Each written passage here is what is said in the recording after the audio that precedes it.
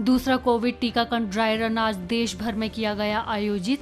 33 राज्यों और केंद्र शासित प्रदेशों में 736 जिलों में बड़े पैमाने पर चलाया गया अभियान। इसका उद्देश्य टीकाकरण के पूर्व की सभी तैयारियों की करना है समीक्षा। कृषि कानून पर केंद्र सरकार और आंदोलनकारी किसानों के बीच आठवें दौर की वार्ता आज नई दिल्ली में जारी। चार जनवरी को हुई वार्ता में कुछ मसलों पर बात न बन पाने को लेकर सरकार ने आज की बैठक में कुछ समाधान निकलने की जताई है उम्मीद। केंद्रीय शिक्षा मंत्री डॉक्टर रमेश पोखरियाल ने महात्मा गांधी अंतर्राष्ट्रीय हिंदी विश्वविद्यालय वर्धा के 24वें स्थापना दिवस और चौथे दीक्षांत समारोह को किया संबोधित। केंद्र सरकार ने वार्षिक योजना के तहत महाराष्ट्र में 5,801 करोड़ रुपए की राजमार्ग परियोजनाओं को दी मंजूरी।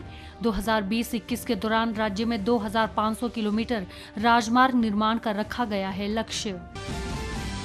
कोरोना काल में आयुष उत्पादों की मांग में हुई तीन गुना बढ़ोतरी। इस दौरान 100 देशों में आयुष की आयुर्वेदिक औषधियों का उपयोग प्रतिरोधक क्षमता संवर्धक के रूप में किया गया और दुनिया भर में इसकी मांग धीरे धीरे पकड़ रही है ज़ोर। ओडिशा में आज से खोले गए दसवीं और बारहवीं के स्कूल। राज्य सरकार के निर्देशों के अनुसार इस दौरान सख्त नियमों और सोशल डिस्टेंसिंग सहित सभी आवश्यक कोविड 19 सुरक्षा मानकों का रखा जाएगा ध्यान। देश में कोविड संक्रमण से स्वस्थ होने वालों की दर बढ़कर हुई छियानवे दशमलव तीन नौ प्रतिशत। देश में अब तक एक करोड़ सैंतीस हज़ार कोविड मरीज़ हो चुके हैं स्वस्थ। देश में कोरोना संक्रमितों की कुल संख्या एक करोड़ चार लाख के पार, करीब दो लाख पच्चीस हज़ार सक्रिय मामले और एक लाख पचास हज़ार पाँच सौ सत्तर लोगों की हो चुकी है मौत।